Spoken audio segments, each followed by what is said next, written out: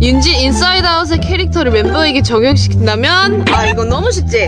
어 이것은 이것은 사실 우리끼리 이렇게 정해놓은 게 있어요. 정해놓기보다는 그냥 영화를 가서, 봐, 가서 볼 때 이제 누구다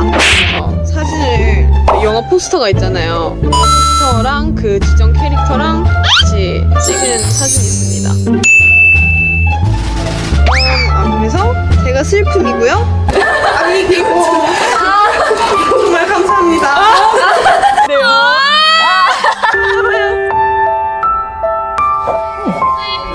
여기 있네. 채원 언니가 버럭이.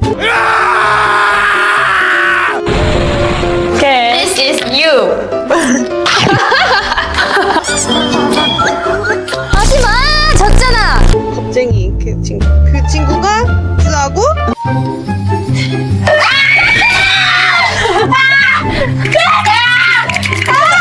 뭔가 무서운데요? 초록 친구는 우라 언니예요.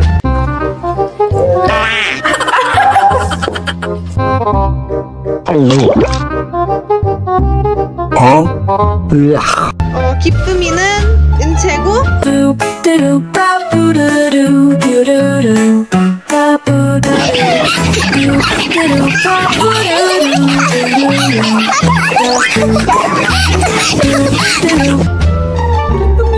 기